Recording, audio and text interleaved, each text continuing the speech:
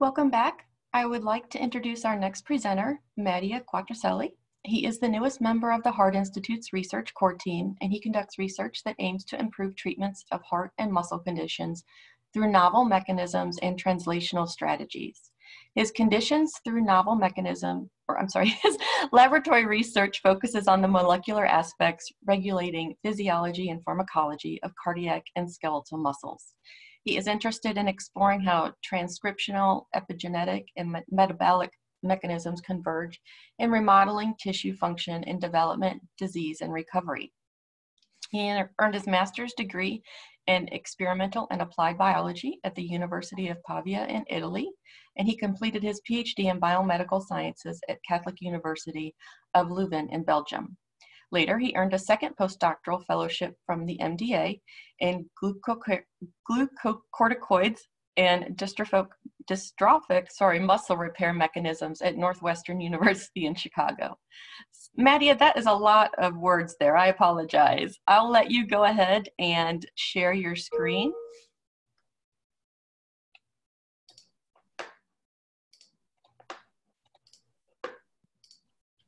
Does it work? Perfect. All right. Hi, everyone. And uh, thank you, Nicole, and thank you for the uh, to the MDA for giving me the uh, possibility of presenting this to, to you today. I'm Mattia from Cincinnati Children's. I'm here starting my own lab.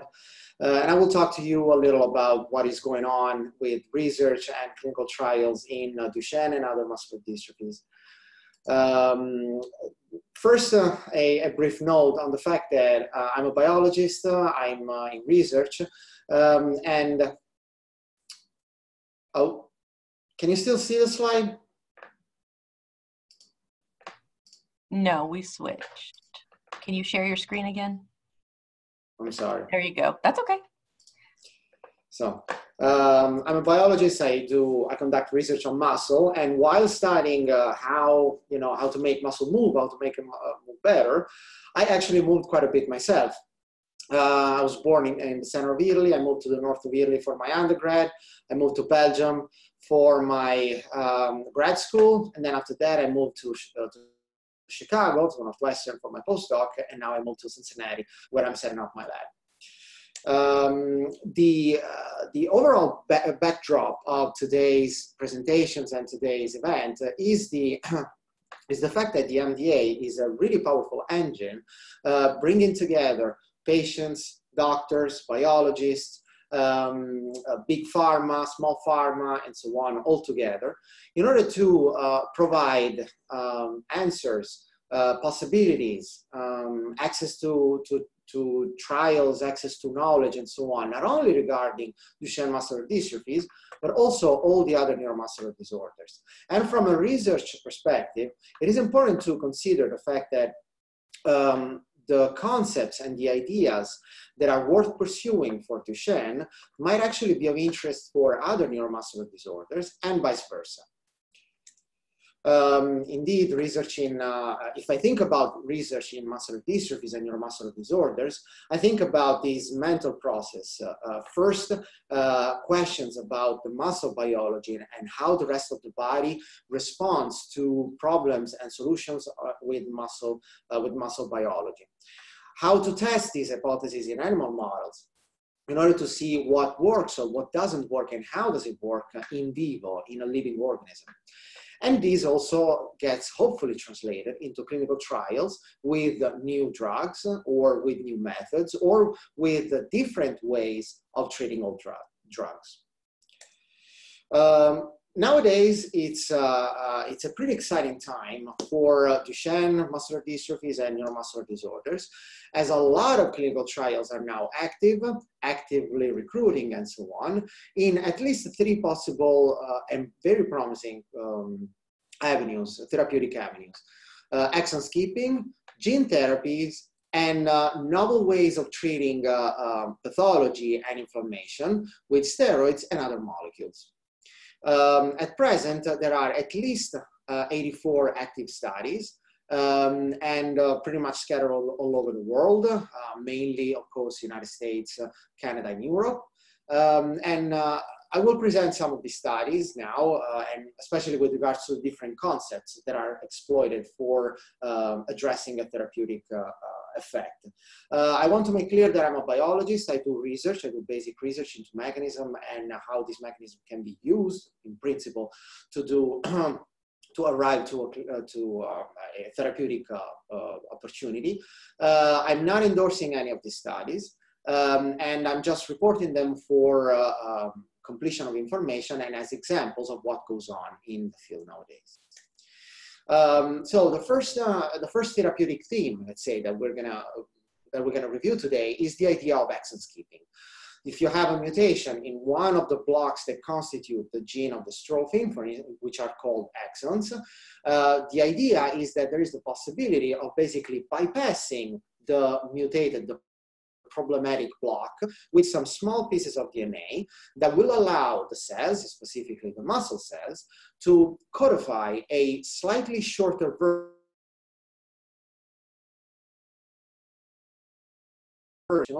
but it's gonna it's gonna retain a bit of function, and it's going to hopefully improve overall function of the whole muscle. Uh, in uh, this is definitely one of the um, most uh, uh, advanced therapeutic concepts that is, however, now already clinical reality. There are two products which are FDA approved now, um, which have very, very complicated names. I don't, I don't understand why they cannot find a, a simpler name. But anyway, um, these, these drugs are for skipping exon 51 if you have a deletion in exon 51 or exon 53 if you have a deletion there um, the data seem, uh, uh, the data reported by the company, uh, Sarepta, who's commercializing this product, seem pretty uh, promising. Um, uh, in, uh, in data that they recently reported, uh, a study with 180 weeks, so that's um, almost basically three years of dosing, reported that there is almost a 1% dystrophin production, uh, which is encouraging. Uh, it's not a lot, but it's encouraging. And uh, uh also, I want to make uh, sure that the same company, I want to make sure to mention that the same company has submitted an FDA application for another, for another oligonucleotide to target mutations in exon 45. On top of that, there are many more active studies in exon skipping with other oligonucleotides, other companies, other products. Um, and uh, there are, uh, as I shortlisted here, at least 12 active studies. And I want to bring to attention two, uh, which I think are of interest. one um, is uh, uh, basically another drug from another company, uh, and uh, um, they are uh, addressing it in ambulant boys with DMD, and this is uh, another drug to skip exon 53. Um, and another study that I find interesting is a, a, study that is going on at Nationwide Children's together with Sarepta uh, that is testing the efficacy and safety of the three drugs in combination or in, in a test of one versus each other, which is interesting because with these drugs now approaching clinical reality, it is important to uh, to see which one, I mean, to test them side, side to side and in possible combinations in, in case this is applicable, applicable in order to see uh, what works best, what works less in, com in comparison between each other. Uh, the other important therapeutic avenue that is really intensively investigated now, and it is progressing to a clinical reality with the first clinical trials and so on, is gene therapy. And if you will, this is the, um, the, the, one of the most important, one of the most advanced uh, um, ideas, therapeutic ideas in uh, Duchenne muscular dystrophy and other neuromuscular diseases. Considering that all these diseases are hereditary genetic diseases, the idea is why don't we address the causal problem, that is the mutated gene? What can we do about it? On top of that, there is also a, a technical uh, aspect of this, that is the usage of viral vectors in order to uh, carry the, um, the novel genetic or the therapeutic genetic material uh, all around the body and possibly all around the heart and skeletal muscle cells all over the body, at least ideally. Uh, at present, there are three main ideas used with gene therapy. Uh, for gene therapy, there would be four viral vectors. Um, and there is viral vectors for a more stable version of exon skipping, uh, viral vectors for reintroducing dystrophin as a shortened version, the, you will probably hear about uh, these in terms of microdystrophin or mini dystrophin. These are shortened version of dystrophin, which however carry a sizable amount of function with them. And uh, the most uh, uh advanced uh, and yet uh, that, that, still has to be tried in clinical trials, um, gene therapy is the possibility of editing the endogenous mutated dystrophin gene with the usage of CRISPR-Cas9. Um, these uh, these, um, this strategy is still in preclinical animal models. It shows a lot of promise, and uh, I'm pretty sure that the first clinical trial will probably uh, arrive in the first years to come. But at present, uh, i want to point out that this strategy is still the most, um, is still uh, related to preclinical testing. Um, with regards to gene therapy, there are a number of trials that have just been completed or they are still active. Um, there is the seminal one with uh, mini dystrophin at Nationwide Children's. Uh, there is an, another important one with the microdystrophin uh, as intramuscular gene transfer. Uh, there is the active clinical trial with the Pfizer drug or the Pfizer viral vector, uh, which also carries a shortened version of dystrophin.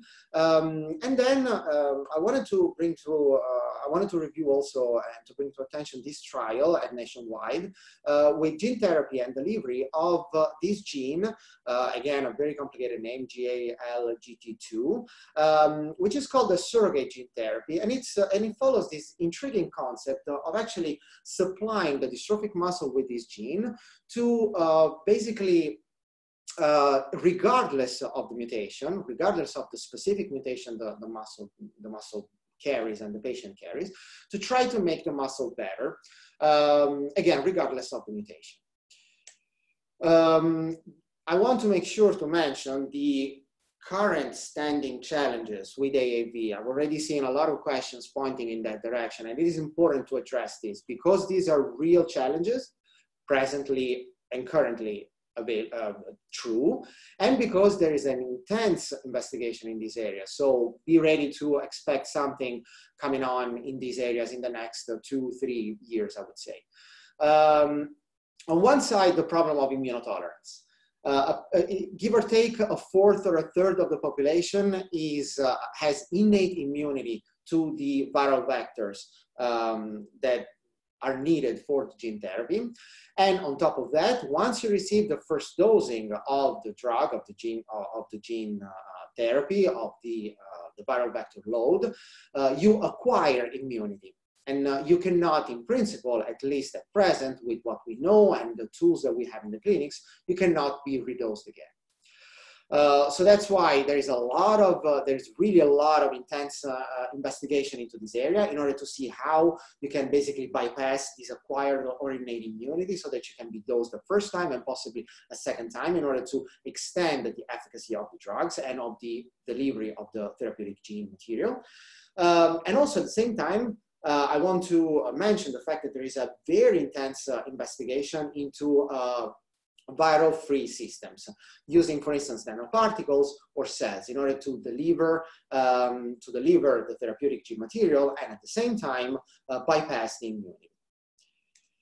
Um, and then um, I want to uh, talk for the last five ten minutes about disease management, uh, steroids, uh, and novel perspective in that. Um, so steroids are, for instance, uh, used at present to manage pathology and to decrease inflammation. Um, and uh, thanks to the steroid usage, thanks to the uh, nighttime ventilation, thanks to, for instance, the, all the let's say, uh, wonderful advancements with integrative care um, in uh, DMD pathology management, we are now um, in front of uh, an important advancement that is an increased life expectancy for, uh, for Duchenne patients.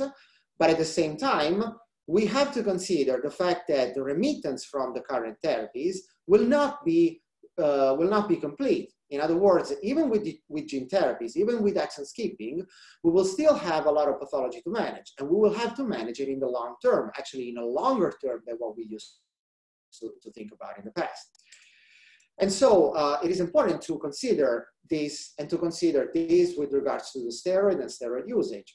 Because again, it is true that they are, uh, they are important and incredibly beneficial in managing muscle inflammation and, uh, uh for instance, uh, in uh, um, uh, elongating the ambulatory period. However, at the same time, they come with a hefty price of side effects with regards to growth suppression, osteoporosis, obesity, and metabolic syndrome, and so on.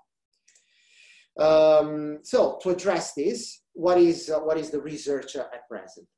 So one possible avenue is basically new drugs, new steroids. And vamorolone, VBP15, is for instance a very uh, promising example in this. Vamorolone is a uh, novel type of steroid, uh, which uh, basically aims at decreasing the side effect and still maintaining benefits with a different way through which the drug activates the uh, receptor of the drug. And uh, the first clinical trials are ongoing, and I've published some interim results, which are very promising. As you can see from the green and the yellow uh, curves here, uh, the uh, high uh, or the highest doses groups are presenting uh, some, at least initial, gains in strength and um, uh, and uh, overall, mm, I would say, muscle function. Uh, an active study conducted by ReveraGen is now ongoing to assess efficacy and safety of vamorolone in uh, Duchenne. Uh, and this study is going to be particularly interesting because in this study, uh, an arm, a comparatory arm, will also be included with the present steroids in order to start asking the question of whether vamorolone is better or, or the same or better as compared to the traditional steroids used.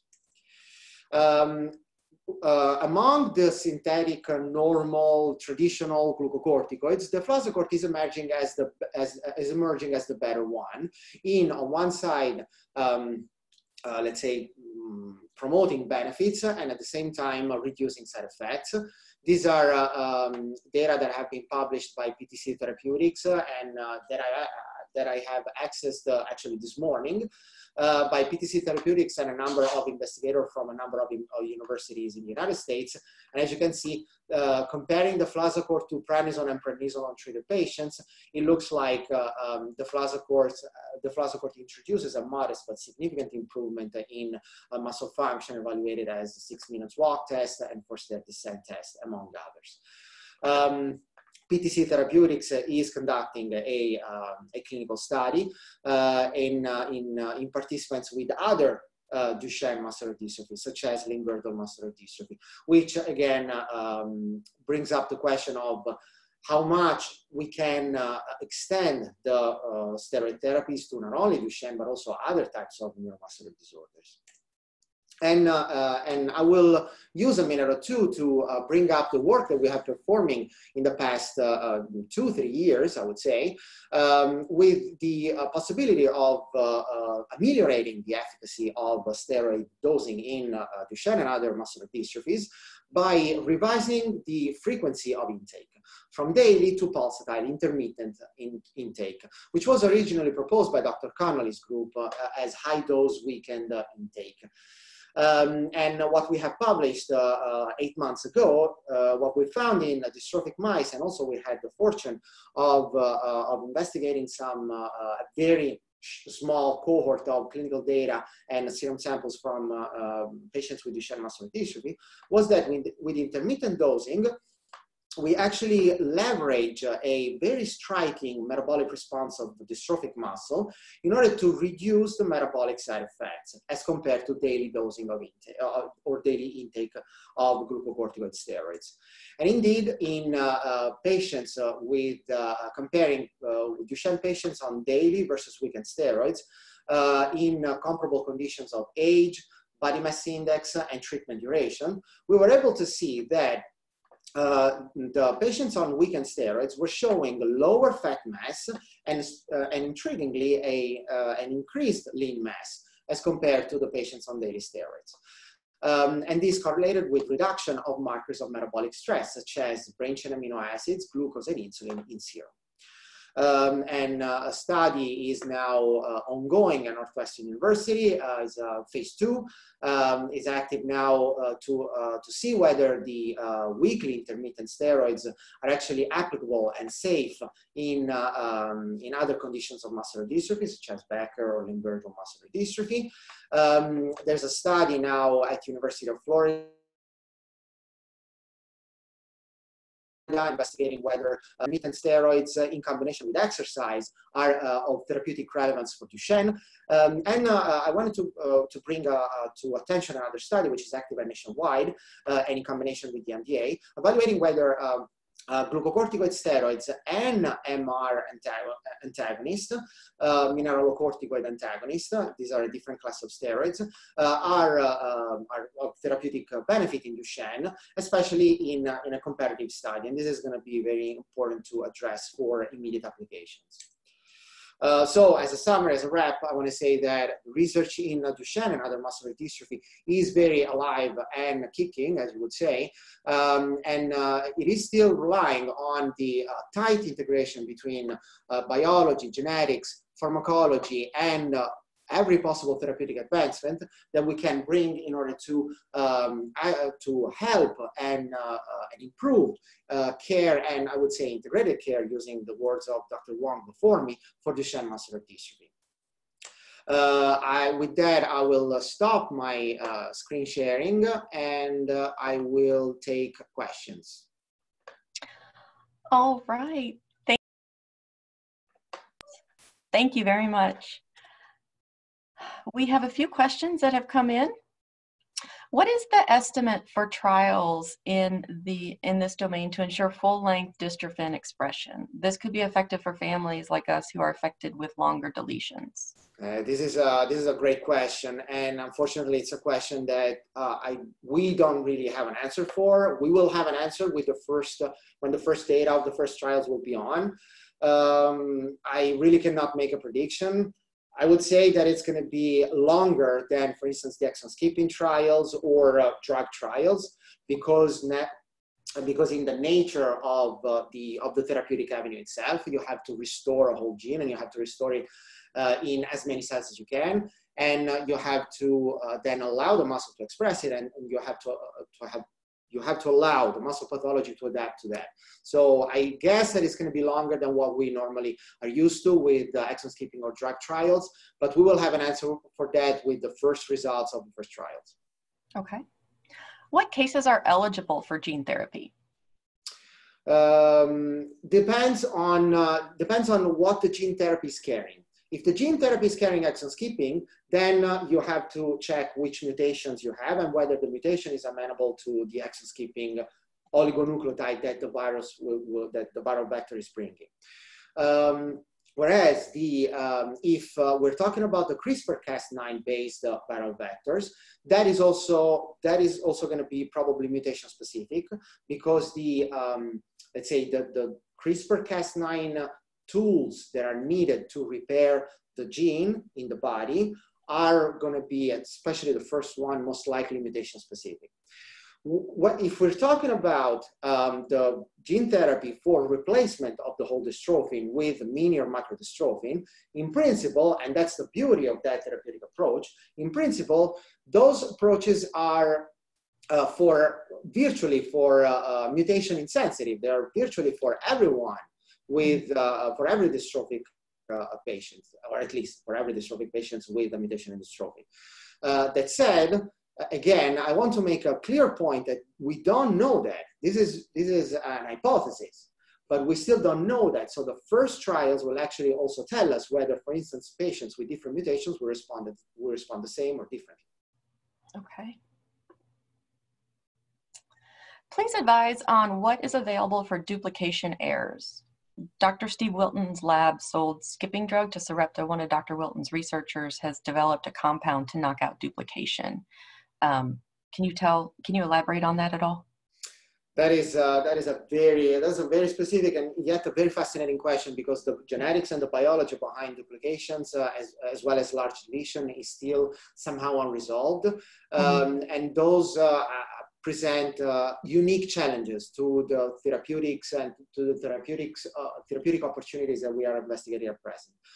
In, um, in principle, yes, what I was aware of is that in principle, the exon skipping should be uh, possible, again, at least in principle, for duplication, although the uh, strategy will have to be somehow um, specifically targeted and tailored for that because the um, let's say the part of the gene that you want to skip is bigger, is larger, and that's the challenge. Um, in principle, uh, ra- rational wise, the duplication should be amenable for mini or microdystrophin, but we won't know that until the first uh, clinical trials are, are, are, are around. So yes, it's uh, it's still up in the, the question is still a little up in the air, but I suppose that the uh, the current advancement, the current present day mm-hmm. mm-hmm. with both uh, uh, microdystrophin and exon skipping will will provide some answers at least. Okay, and uh, the last question we could take: when there is so much data favoring intermittent dosing of steroids, why does the eligibility criteria for all DMD gene therapy and gene editing trials ask kids to be on daily steroid dosage? Um, this is, a, this is a, an important question, and uh, it's a question that I would like to turn to the neurologist first of all. Uh, it's okay. uh, and this is an, an, important advice, an important disclosure from me to all the patients and all the patient families. As Dr. Wang was saying, always refer to the neurologist always refer to the neurologist who is treating uh, you or is treating your uh, the patient in your family. This is important because the, your your neurologist, the neurologist that you're seeing, mm-hmm. is the one who knows you best and who knows what is best. Now, what I can say is that uh, a lot of uh, a lot of evidence is favoring uh, toward intermittent dosing. However, there is still no clear consensus, and also let's not confuse what is needed for different stages of disease. For instance, if uh, for, gene, uh, for gene therapies and for viral vector delivery, uh, you need an important initial bolus of immune suppression in order to have the viral, the, the big viral dose, right? So and, and during that initial period, probably you will be on daily steroids, and probably daily steroids will always be recommended for that initial period because you need a lower level, or I would say a higher level of immune suppression or immune, let's say, immune modulation. So that's for that. For pathology management, then we can uh, discuss about whether uh, whether intermittent or daily dosing will, will have to be probably tailored to different stages and different ages uh, in, in your life. But that's, uh, that's a question that is better addressed to the neurologist who's seeing you, who's treating you, and who knows your story. That's a great explanation. Thank you.